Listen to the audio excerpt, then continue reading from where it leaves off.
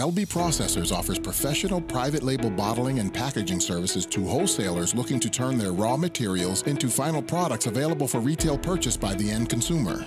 We are excited to offer solutions to our customers for custom formulation, private label, and custom packaging.